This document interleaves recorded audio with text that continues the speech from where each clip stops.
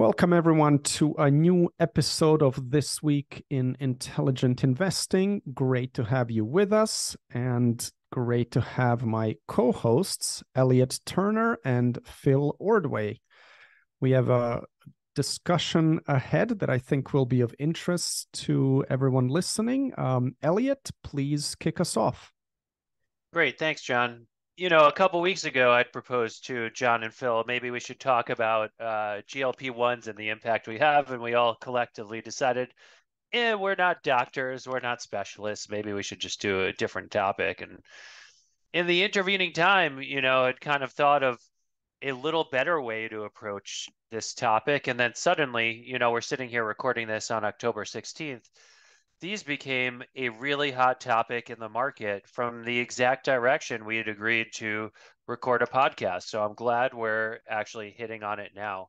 You know, and starting with that premise, like none of us really are in position to say what GLP 1s can or cannot do from a medical perspective. But oh my God, has there been a storm in the markets? And what I'm talking about here is uh, over the last week, the consumer staples sector and the medical device sector subsector uh, within healthcare have all had extremely steep sell-offs, and GLP ones are singularly being blamed as the cause of the carnage. And for those who may not have heard GL- of GLP ones or are not truly totally familiar with what they are, they're these drugs sold today by Eli Lilly and Novo Nordisk. Uh, the brand names are Ozempic, Wegovy, or Mounjaro. They'd originally been developed for treating diabetes, but it turns out they actually have um, very strong weight loss effects, anti-addiction effects, and I guess last week there was a study that that Novo Nordisk had established uh, very strong effects on um, I guess, healing or reversing kidney disease. Um, and then you'd hear stuff like people, so where they're really getting a lot of use is, you know, I think there's something like 4 million users now in the US on these drugs for weight loss. And I, I don't think it's just people who are very obese. It's often people that want to shed like an extra 20, 15, 20 pounds. Um, the effects have been so profound thus far that Walmart has even called out a notable change in basket composition, basket size, and lower units and less calories generally was the quote that they'd had. So, you know, while GLP 1s are being blamed for these sharp sell offs, I wanted to ask the question is that truly the cause of the sell off, especially in CPG land? That's where I wanted to focus this question. The med device question had arisen after we'd formulated this topic. You know, is that really what's to blame here? Uh, because coincidentally, the timing corresponded with a very uh, steep surge, uh, fast surge in long-term Treasury rates. Um, so, you know, I'd hypothecated that these things had been surprisingly resilient in the face of rising rates. When we'd had the sell-off all last year, uh, which many attributed to um, higher cost of capital and a compression in multiples.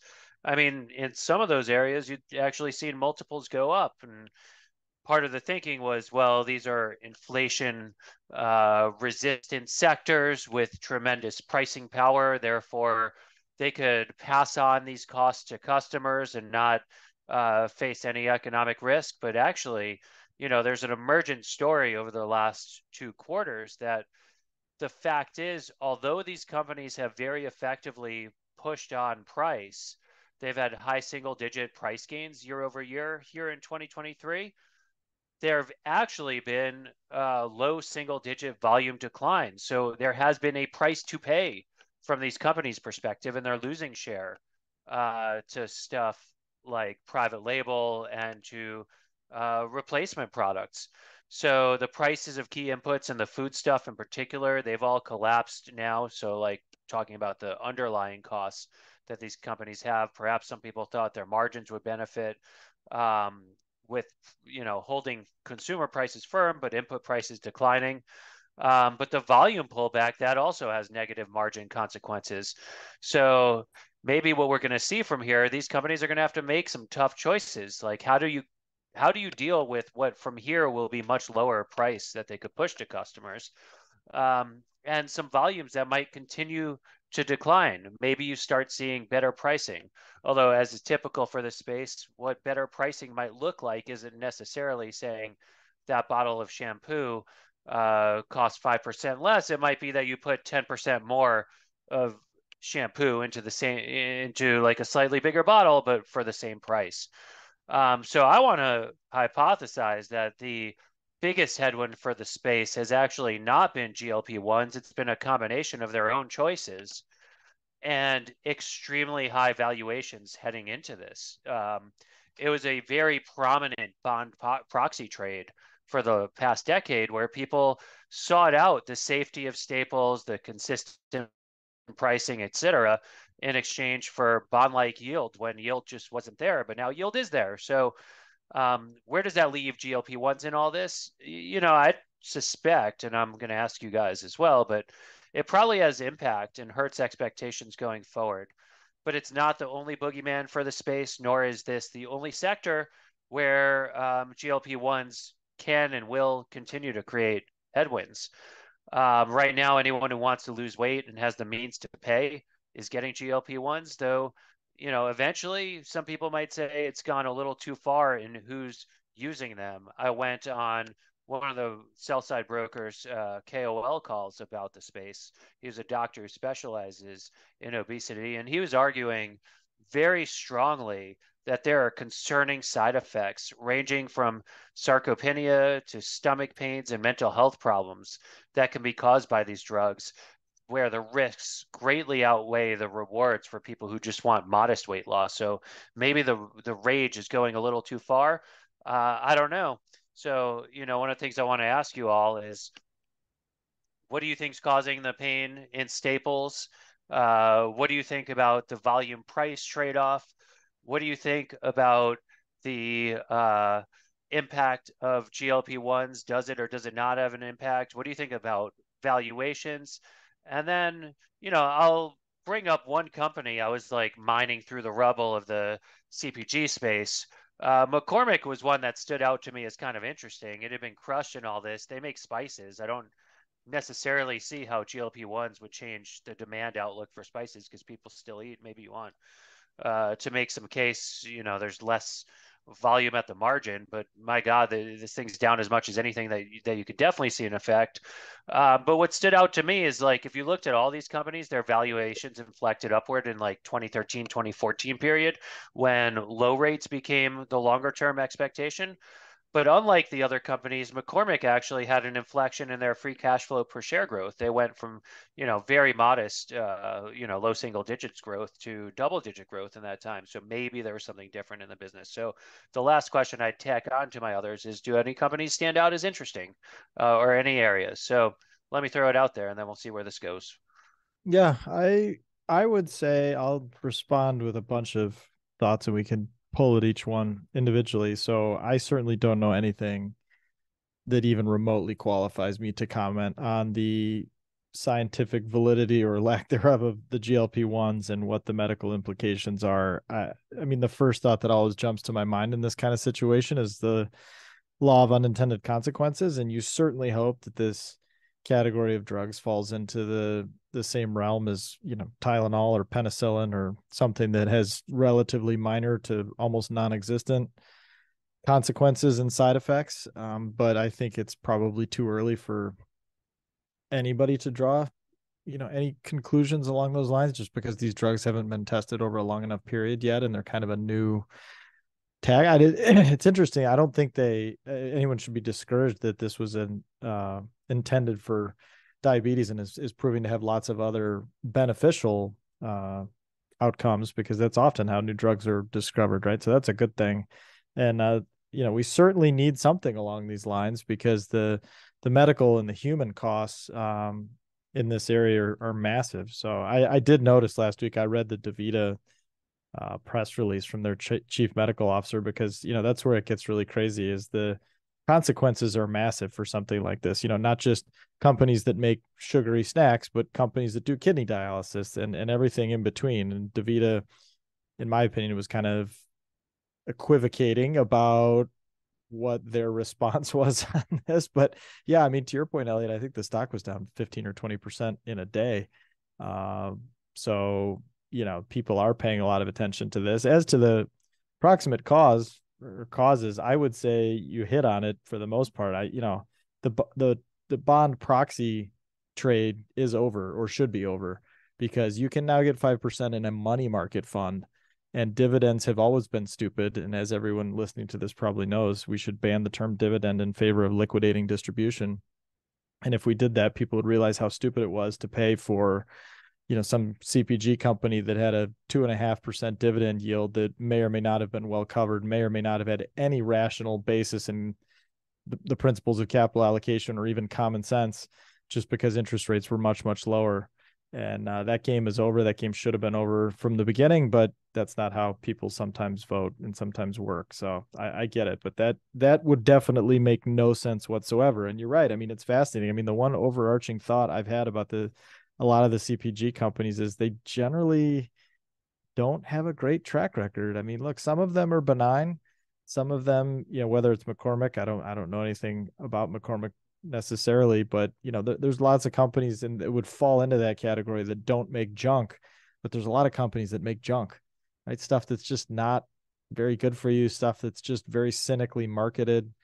And uh, again, I'm not any sort of health food nut or anything like that. And I think if you go the other direction and take this view that all of quote big food is a conspiracy against the layman and is bad for you and horrible, you've probably gone too far in that direction as well. But I think the fact remains that these health th- these trends towards a more health conscious diet away from some of the products that the CPG companies came up with and marketed 100 years ago up through the last 5 or 10 with enormous success. You know some of the most well-named brands well-known name brands in the world. I think that is definitely not a fad. That is a trend that will persist in my opinion. I would be very very surprised if these companies do not continue to face pretty significant volume issues over the next two, five, 10, 20 years. I just don't see that reversing for any good reason. I, you know, there there are reasons I could be wrong. There are surprises along the road. I wouldn't want to make a big binary bet on that, but I would be surprised if we don't wake up, you know, down the road and see that that trend has continued. So those are my initial thoughts, and I'll stop there and we can pull on each one individually. I couldn't help but think, like, as you were saying that, all my brain kept going to was like, my God, Smucker buying Hostess Brands right now, whose stock ticker is after its like flagship product, Twinkies. Right. It was like, it sounds like you're talking directly about that product in particular. I Though I know you're not. much broader. I, I, was not, not. yeah.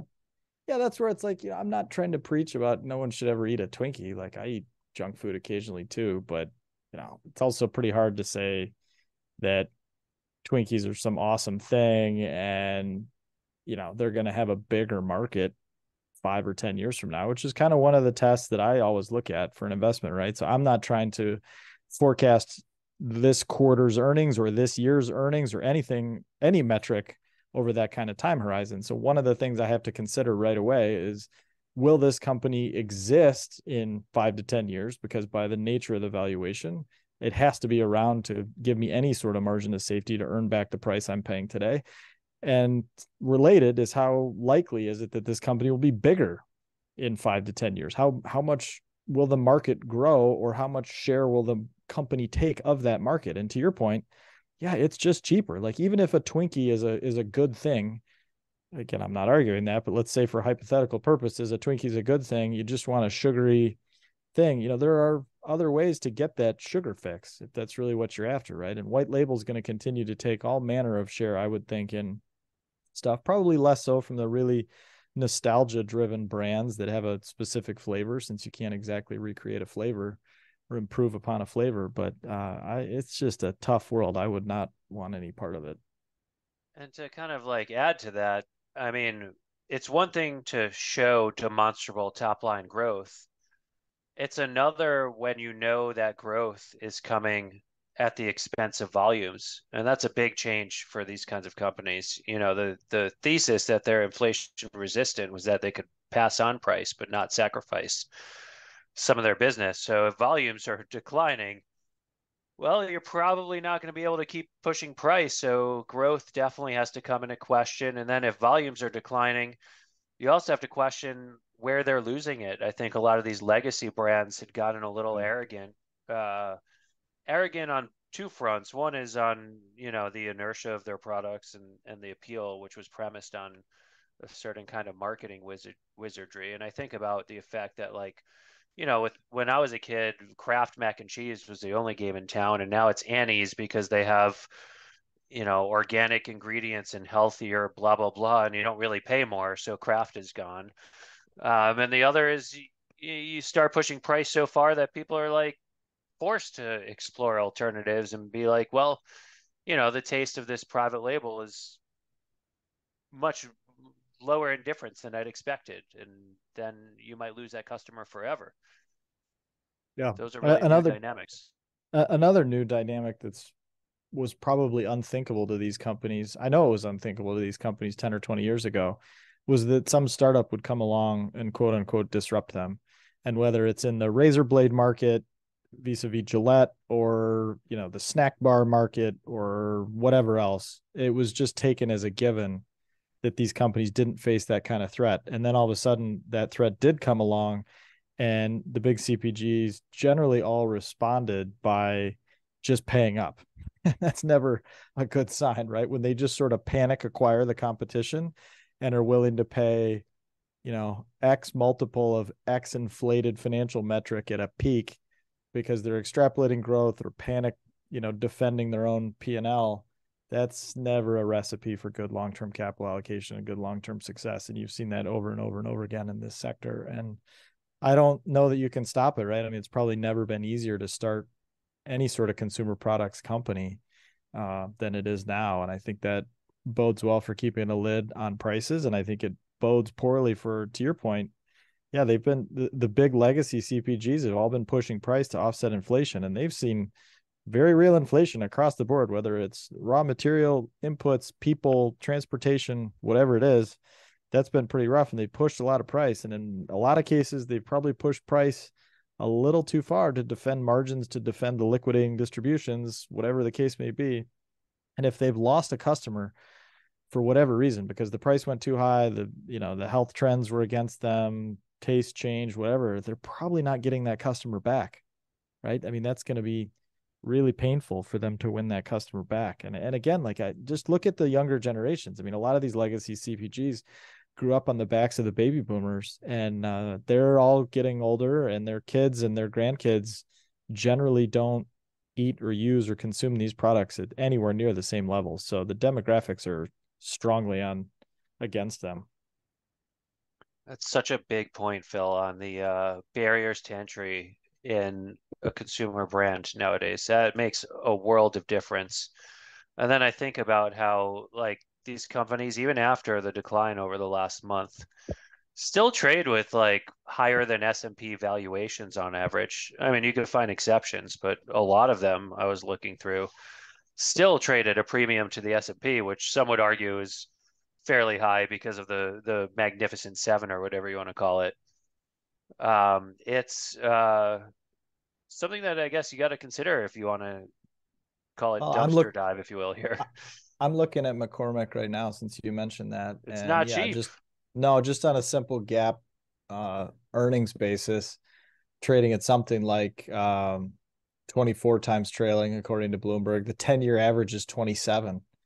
Um, so even though it's fallen very sharply in recent times, I mean, it was trading earlier this year trading at somewhere between the 80th and 90 plus percentile of its 10 year average price to earnings multiple. So, you know, that's not, it's a little cheaper than that price to sales. Again, none of these. It's my problem past, with it. Yeah. It yeah, was the only these... one who had had a business change that accompanied the uh, multiple mm. appreciation. That was what stood out to me. But everything right. else was like, you know, just up and up, up and away because uh, hey, YOLO and ZIRP, I'm gonna buy uh, right. you know every CPG company sort of. Mentality. Yeah, I think something that's telling too is like they're on a November fiscal year end, and so we're we're very close to that, and it looks like uh, uh, these numbers could be wrong. And again, I don't know anything about the company specifically. It looks like they'll produce something on the order of seven hundred million dollars of free cash flow. The consensus is actually slightly less than that, but the actual results in 2019 were a little bit above that. So again, take out all the noise of COVID. Assume this fiscal year is mostly has COVID mostly in the background. You haven't really made any progress. Sales over that period are higher, but not a ton. Like the growth has been marginal. Margins are pretty flat to down a couple points. It's not great, right? It's kind of a kind of a slog. So I don't know. It just that's kind of how I would feel about about the whole sector. And you know, meanwhile, it's got a two and a half percent dividend slash liquidating distribution yield. So I'm sure that's what people are using to justify a lot of decisions that it would otherwise not be held. Uh, about sums up my thoughts. Yeah, John, why don't you j- chime in?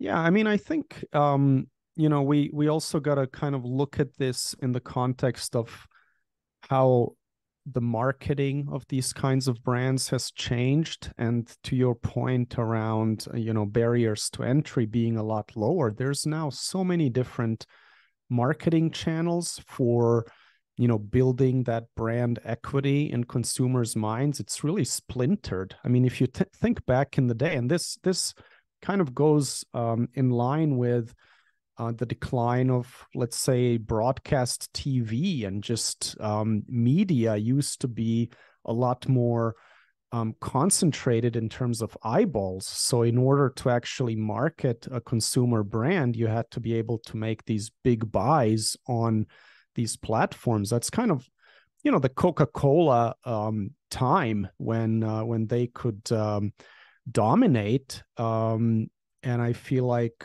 the mind share of a Coca Cola is a lot lower today than 20, 30 years ago, just because, you know, the the whole media landscape has splintered as well. And um and so i think a lot of these brands they've kind of you know they were almost like they ran off a cliff but we we didn't see it for a long time uh, just because they were pulling all sorts of levers on financial engineering and pricing and distribution and so forth. But ultimately um, you know i agree with uh, with phil that a lot of these brands they're you know they've kind of probably hit their peak. Um and yeah i don't know why they've been perceived until very recently as these ultimate compounding machines that could do no wrong. I mean i remember a bunch of years ago i think people had that view of of beer companies you know basically even in recessions people drink beer and they're so yeah. branded and so forth. And now it's like that that perception changed. So i think we're going to see something similar um, you know with these brands. And then you layer on um, the effect of um, these drugs. Um, you know it could be um, it could be pretty pretty interesting how that uh, plays out but i certainly don't think those companies you know are a are a great bargain at a two or three percent uh, dividend yield.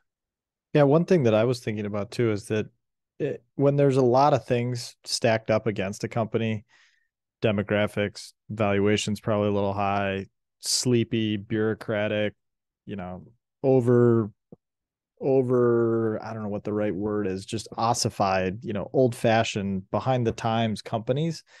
And then something like these new drugs comes along that also would potentially be a big negative that can be like the final straw. And and that's interesting because it's it, again who knows whether these drugs will end up having a material impact or not but it may have just opened people's eyes finally to the underlying problems that were always there. And it's kind of the exact opposite of what you want when you invest or at least the way i think about it is that i don't know what the proximate cause of success is going to be but i want three or four things all pulling in my direction. You know, I want a, a good business with good margins, low threat of somebody coming in, blowing them out of the water, a valuation that affords chance for a lot of things to go wrong, a good rational management team that's doing intelligent things with the capital they're generating, et cetera, et cetera, et cetera. And then if something comes along that really helps them, great. That that just ignites what was already, you know, a very well made fire that was just going to burn healthily for a long period of time. And so uh, this this seems kind of like the opposite in a lot of ways. And I, again, I mean, I just look around and it's a anecdotal thing, but it's also pretty apparent in the obvious. And Elliot, in, in preparation for this, shared some data from a week or two ago. I mean, the volumes are declining right so like at some point you have to reckon with that fact and say what is likely to you know return that to where it was previously or can these companies withstand it? And am i being paid enough as an investor to ride that decline curve? Yeah that's a really really strong point. It's like a cumulative effect. It's no one factor that does a company in or and it's no one factor that makes a stock work at the end of the day. Uh, I think it was from a Mauboussin paper. He talked about like a confluence of forces that bring, uh, you know, several different kinds of styles investing behind something to make it work or not work. Um, And so, yeah, I, I guess GLP ones are just one more really big negative that an investor in this space will have to ask what sort of terminal multiple am I willing to ascribe to this if I just don't know? Um, and especially as as you'd mentioned, I, I thought for a while generational health habits might make a difference, um, and it had been hard to like pick them up in various uh, like aggregate stats, but maybe that's starting to take shape now. Um, and yeah, I think they probably are. ahead. Sorry. I, mean, I no, sorry, I was just saying I think they they probably are starting to show up, right? And to your point, just real quickly on the terminal multiple part of it, I mean, that's what always gets me in these things is I'm not cynical about any of these companies and their ability to persist or whether people want to continue eating Twinkies or whatever, you know, more power to them on some level, but I definitely don't want to have to take it as a given in the terminal multiple, right? I mean, we've talked about this plenty of times before. I mean, I need to see some level of actual cash economics returned to me over, uh, you know, it, it doesn't have to be front loaded, but you know, if we're if we're buying, you know, the parent company of Twinkies or whatever at a at a level that implies I'm not going to get the vast majority of my money back until 2042 in nominal terms, that's a problem for me you know, I, I just that doesn't stack the odds in my favor even in the slightest. That reminds me of um, I think I think it was like Todd Combs with uh, talking about his early days working with Buffett. Said uh, Buffett would ask how many companies in the S and P are going to be 15 times earnings, or I think it was like a market multiple, uh, and, and you know that you could say with a 90% confidence interval would earn more in five years than they would today. Right. Um, and you know, like that doesn't lead you down a comforting path thinking about the terminal multiple in some of these if you can't confidently say they're going to be earning more than they are today, yet they're valued uh, much richer. That was than... in the context of how they discovered Apple too, right? Which is worth noting yes. that you know they obviously not discovers the wrong word, but decided that it was worth not just an initial stake, but you know, many billions that turned into one of the best investments of all time because I can't stress enough, as we all know, but it's worth thinking about it, how hard it is to deploy tens of billions of dollars and turn it into 150 billion. Like that's just a vanishingly small universe. And they did it on the backs of just what we described, which is okay, what's what market is likely to not only persist but get bigger. And then, oh, by the way, you need a good starting valuation, which Apple offered at the time. And I would argue this is potentially somewhat of the inverse of that. Well, so one of my other, uh, I cheekily tweeted in this interim period uh, as things were getting a little interesting with the the sell off, um, that the market's treating big cap tech as the new staples, because that's where you can, or I, I don't mean like can as in totally confidently, but that's where right now, as the narratives are stacking one on top of the other, you could more confidently say like I feel comfortable where this is going to be in five years, uh, right. versus in contrast to the staples. Um, so any merit to the market seeking out new staples in the form of big cap tech, which I might add the average of them, if you ignore Tesla uh, is lower multiple than the market and lower multiple than many of the staples that I'd perused.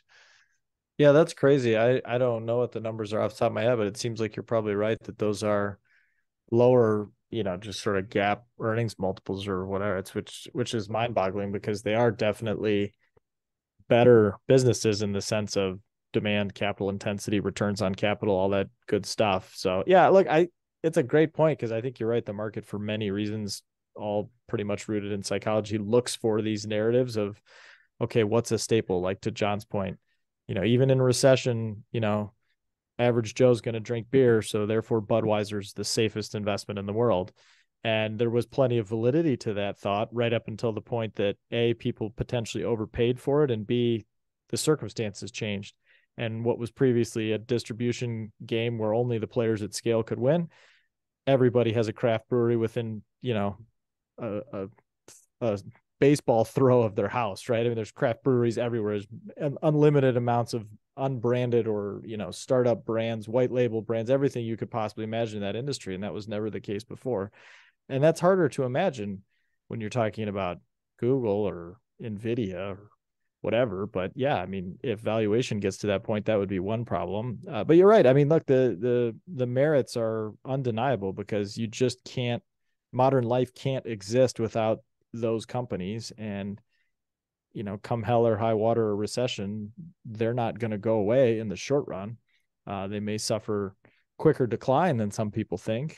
Uh, that's not like innovation's dead entirely. It's not like there isn't going to be new or ongoing threats that emerge but uh, i think it's a it's an obvious place for uh, you know a, a, replacement staples category and i find it hilarious that for whatever reason partly rooted in psychology partly rooted in old fashioned habits the staples have always come with high dividends high high liquidating distribution yields and in, for the most case none of those companies pay big dividends right so it's kind of kind of funny and ironic well, John, I think in Latticework, what year was it where actually before he became an internet celebrity, although he kind of was, uh, Chamath had spoken about, you know, like the age of disruption in Staples brands. And I think you had Josh Tarasoff uh, interview Tom Russo about, um, you know, the landscape in, in Staples. I feel like that was basically like a, a preview of our future that we're living now in some ways.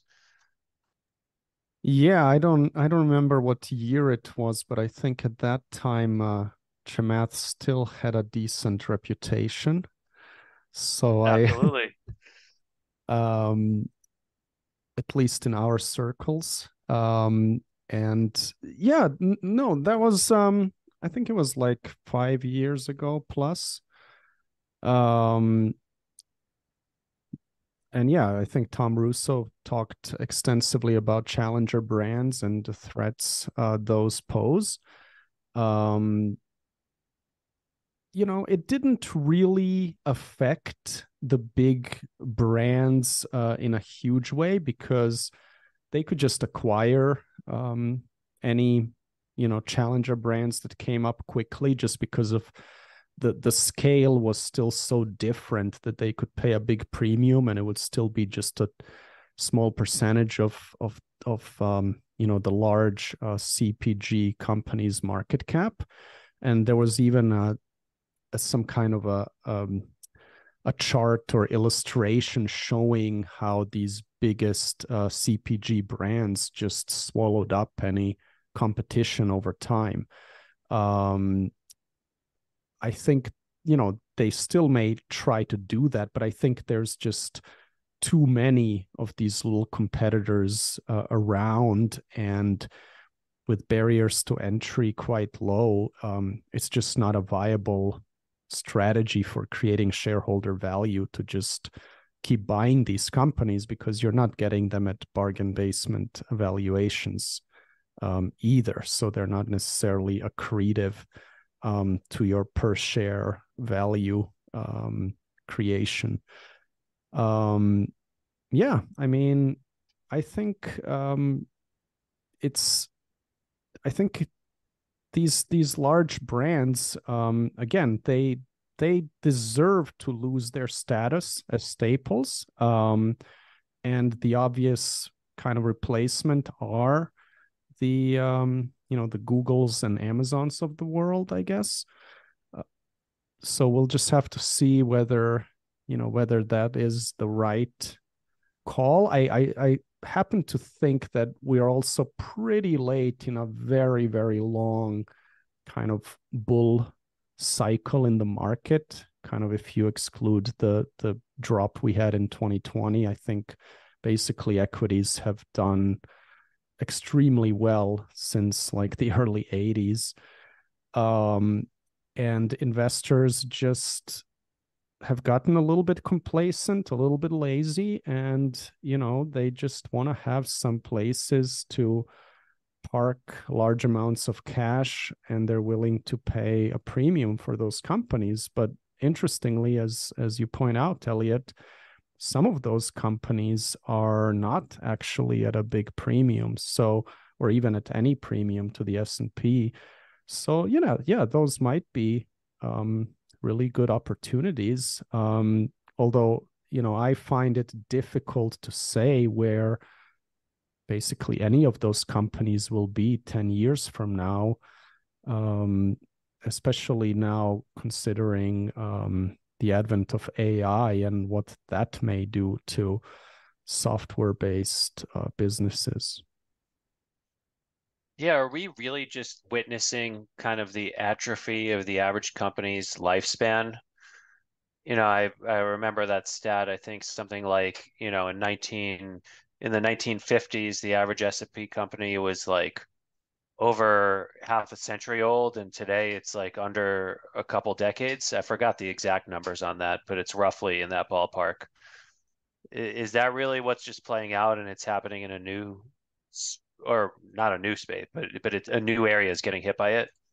Yeah i think that's fair. I mean i one thing that has always occurred to me is as soon as somebody takes as a given something that is not a given by the laws of physics right? I mean just like you know, I, I I'll never forget it. I was always told that I was an idiot for looking at short ideas in 2007 in the housing space because these little declines we had were, you know, random noise, little wobbles, fluctuations that shouldn't be construed as anything because we'd never had a national home price decline ever. It was a it was a law just like gravity that said home prices could never decline across the whole country. There was a law that said you could never have Budweiser's status as a as a dominant beer maker disrupted. You could never have a razor blade come along and disrupt Gillette. And you know, that's the magic of learning to invest in, you know, uh, no less a person than Buffett has made massive fortunes in these in these CPG companies by making sure that he invested at the right time at the right price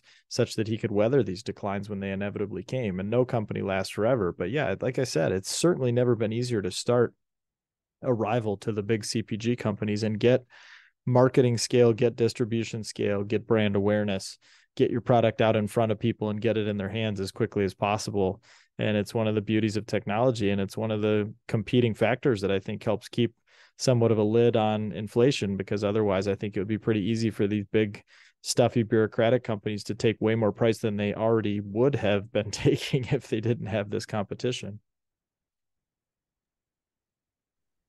Yeah that is very interesting. I i, I kind of think that's something lurking beneath it all but I, I guess maybe i wanted to come back and visit this like the brands do still have or the big companies do still have some advantages. One that i keep thinking about is diageo acquiring casamigos. Like people were wondering holy cow how could they pay a billion dollars for like george clooney's tequila brand denigrating it? Like you know how could a celebrity do that?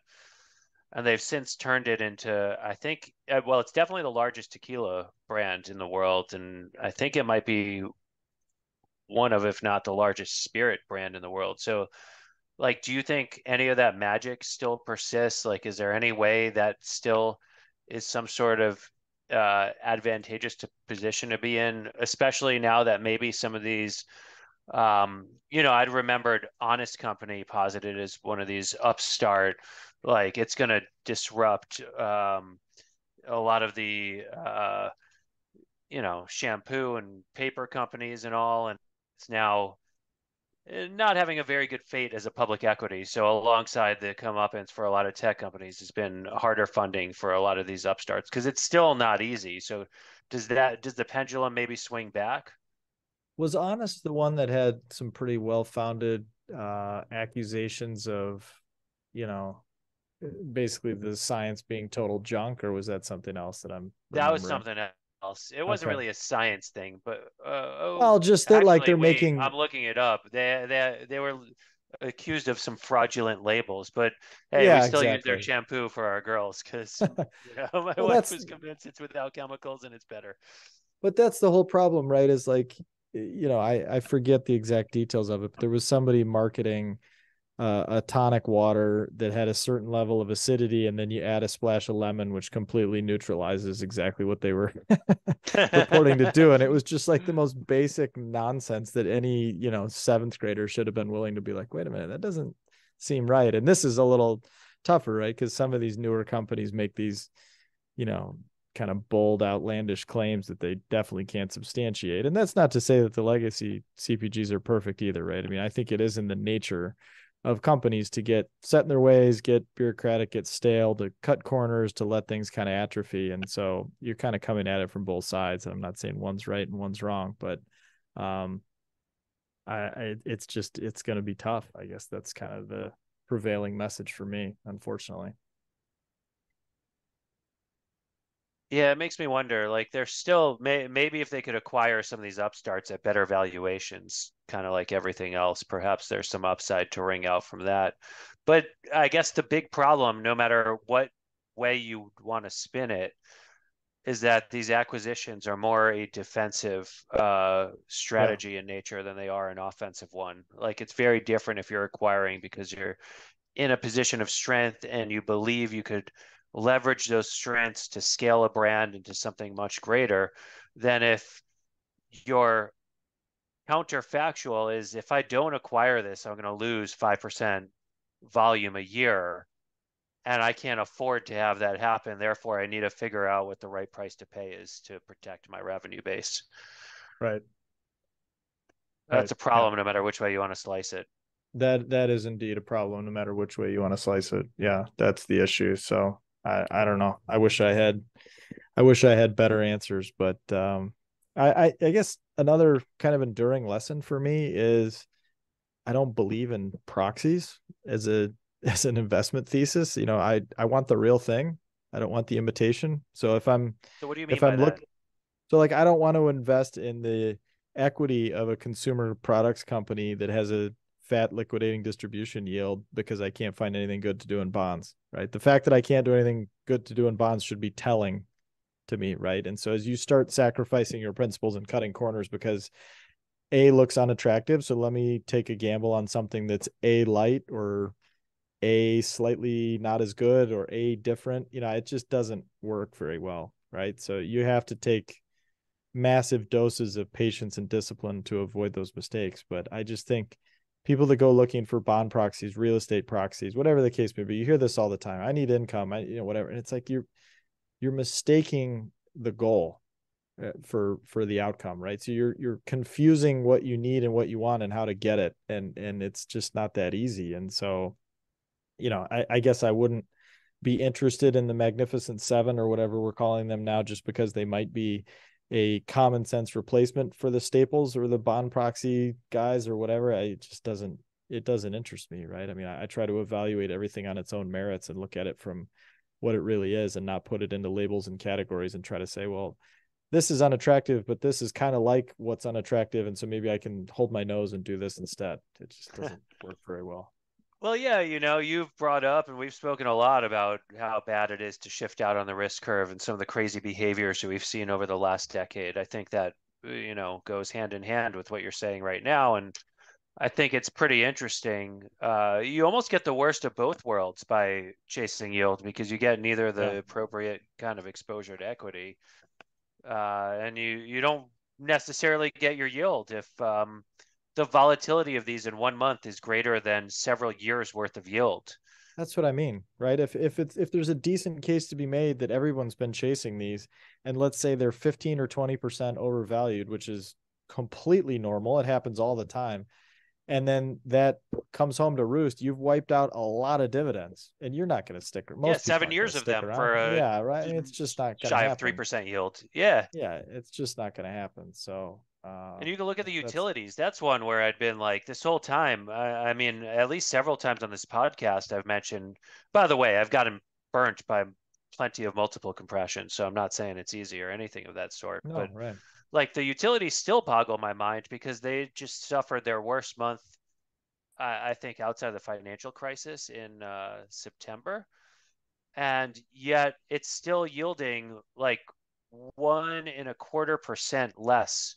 And I'm using XLU as a pro- proxy, so when I'm saying it, the XLU is yielding one and a quarter percent less than the 10-year Treasury, and it just doesn't make sense to me. These things are kind of constrained in the amount they could grow it's... and in what sort of yield they could serve up. And so maybe when they were at like 4%, when treasuries on the 10 year were at three, you could say, okay, well, I'm going to get some growth and I'll pick up a percent. But now, like, what's what's the bet you're making in utilities? What are you playing for? Um, and I think part of that is it's a very large uh, retail sector. So there's a ton of retail exposure where there's a lot of yield pickup. Yeah. Mm, I just can't How make about this. I mean, XLU, I'm looking at it right now. It's yielding like three and a half, right? That, yep. looking at the right? Yeah. I mean, correct. again, you get 5% in a money market fund. That's what I'm saying, man. Yeah. So forget about taking 10 years of duration. Like what?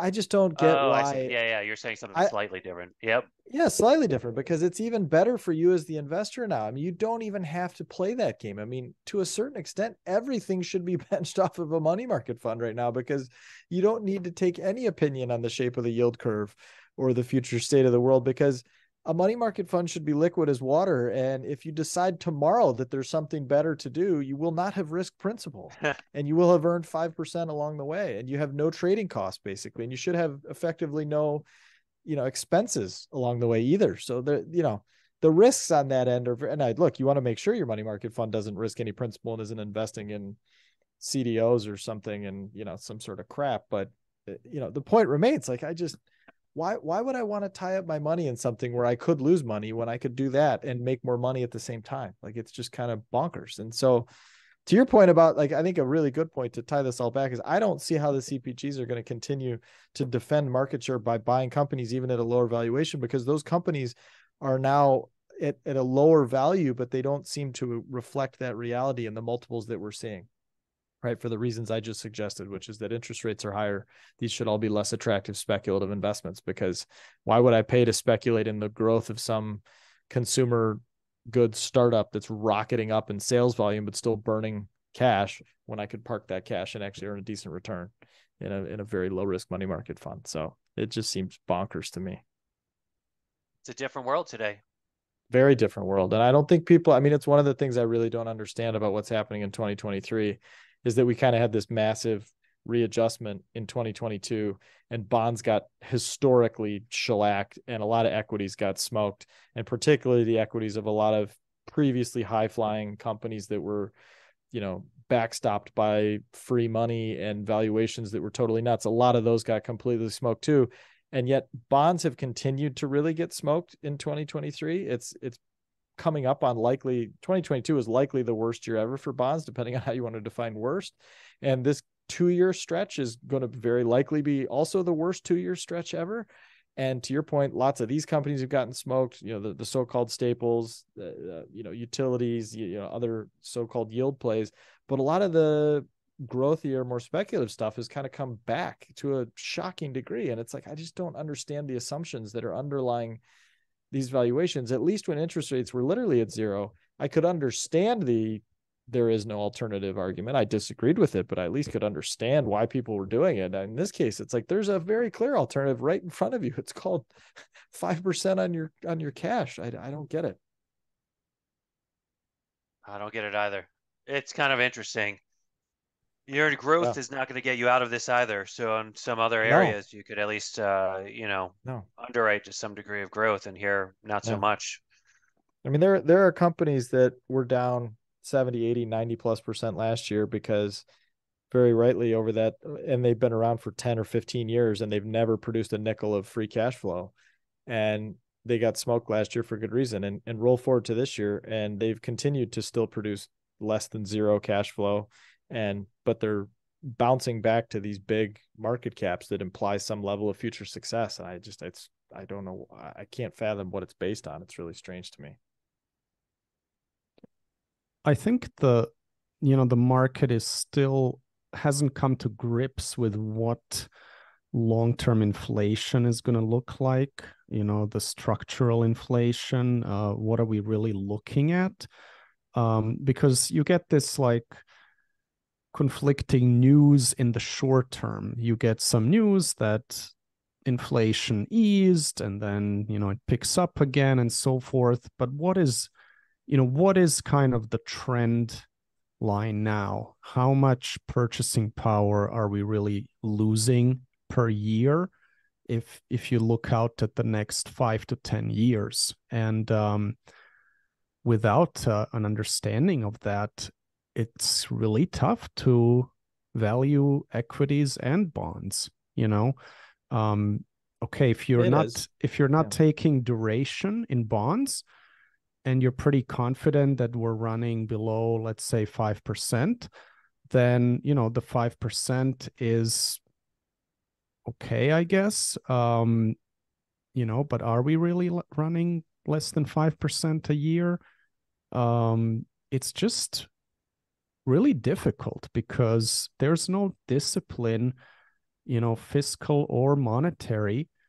And there's this black swan risk that, you know, we're just going to have kind of you know monetary deflation or monetary um you know inflation or hyperinflation at some point who knows so just that just makes it very difficult um you know especially like if you want to go out on the yield curve um it's very dangerous. So i think it is. you know um to some folks then it's better to you know be in equities which over the long term you know and we're talking very long term do provide a hedge and that's where i kind of come back to some equities that um, have gotten beat up because interest rates are up um, like real estate companies um, which you know if you look over decades real estate is an inflation hedge so I think that's really what the market is grappling now. And, you know, people will either make a lot of money or lose a lot of money being on the, you know, right or wrong side of this.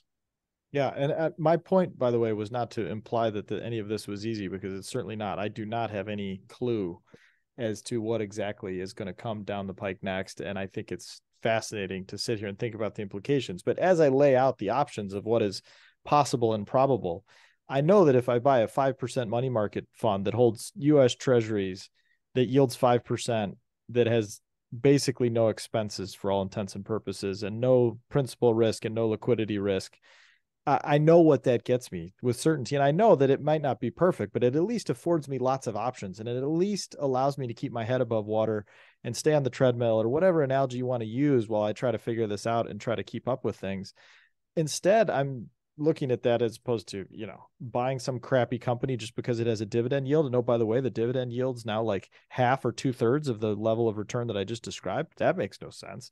Or some you know big bet on duration. I so stop me if i've already told this story and i'll, I'll end here but i somebody came to me with an interesting thought experiment not that long. It was a couple of weeks ago i think and basically said at what level would the 30 year treasury have to get to before you'd be willing to make like a desert island bet? So you put like some huge chunk of your portfolio or your net worth into 30 year treasuries and go away to a desert island for 5 years or 10 years pick your time horizon but some long term type of thing where you couldn't do anything about it you couldn't know what was happening you certainly couldn't trade it.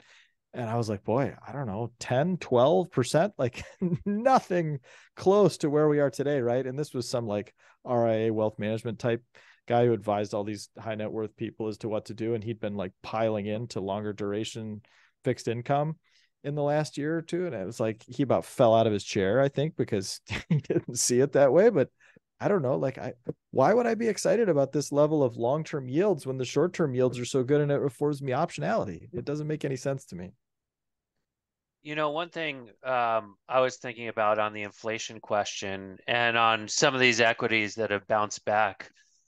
Uh, I, I, kind of totally agree with you, Phil. There, uh, don't don't want to get too far from that, but like, um, I was asked this question, like, where would you invest if you believed that we are in for a period that has higher inflation but no imminent recession like what is the one place you'd want to park your money for that period yeah. and i'd been sent somewhat early in last year's sell-off when rates started rising the um, old sequoia letters ruane Cunniff the original partnership letters and going back through the 70s and early 80s. And one of my big takeaways from that, they invested very heavily in advertising related businesses and had mm-hmm. spoken about the correlation of advertising to uh, NGDP as opposed to GDP growth. And then I was thinking, like in today's day and age, I mean, holy cow, that might alone explain why a portion of the uh, Magnificent Seven are what they are. Because if you do believe that we're not going to have a recession, but that inflation is going to stay elevated, these are capital leading companies that are directly correlated to advertising demand, and advertising demand over shorter periods could be a little volatile, but over longer periods is directly tied to NGDP growth. Sure. Like maybe, just maybe, that's exactly what's going on here. Yeah, no, it makes sense to me. I that's a that's a whole lot more logical than saying, "Oh, I want to have, you know, ten Staples. or twenty percent of my portfolio in a long duration bond portfolio or in Staples or something." Yeah, which just seems like about the least appealing thing you could do. So, what would you guys answer to that question? Where would you be investing if um, you believe that inflation were going to be higher, but a recession not imminent? I mean, I guess the short answer is I'd be investing exactly as I have been because I try to think through all these scenarios and account for for all of them, right? So, you know, in in the case of one uh partner who has a substantial portfolio uh I, and that and they have something like 20 to 25% of it in cash and money market funds and very short-term treasuries and that makes total sense to me. I would have no advice for them as to what they could do uh, on a short-term basis because as an asset class i don't see a lot of things that really jump out but certainly within asset classes namely equities to john's point i'm i'm still I, i'm still skeptical that i see any value in longer duration bonds but i certainly see and continue to seek out long duration equities. And by that i mean companies with long tail cash flow generation capabilities where they have demand that will at least hold flat if not substantially grow over time where they do have pricing power where they do have attractive returns on capital and where that compounding will ben- will benefit me. It'll pile up. It'll accumulate to me as an owner. I mean that's exactly what i want. So i wouldn't change anything i'm doing on the basis of of that hypothetical. But i think those hypotheticals are super important because you should think through okay what would I do differently if I knew we were about to have a big recession? What would I do differently if I knew interest rates were back to go about to go back down to zero? What would I do differently if there was about to be a massive war? What would I do? I mean, all of these things should impact your thinking to some degree, and you weigh them all up and you do the best you can, knowing that information is far from perfect. It's absolutely imperfect, and it's really difficult to get these right. Yeah, I'm I'm not sure about you know short term impacts, but to me there's a very strong case to be made for real assets to have their day in the sun, not day, let's say decade in the sun going forward. Um, you know, some those sectors have been so starved for capital um, that you know there's some interesting kind of supply demand imbalances. Um, and some of those companies are generating very attractive uh, cash flows and paying you know attractive dividend yields that are fully covered and growing. So I think if you're concerned about inflation, um, you know, real assets are probably a good place to be. And, you know, just the fact that people rare, rarely talk about them or, you know, we don't really mention them routinely, it's it's just not the place that um, the market has been. But that doesn't mean that um, it won't be in the future. Um, in fact, maybe that that's a good indicator, you know, that those companies could be quite attractive. Agreed. All right. Well, thanks, guys. That was a great discussion, and uh, thanks everyone listening. Goodbye for now.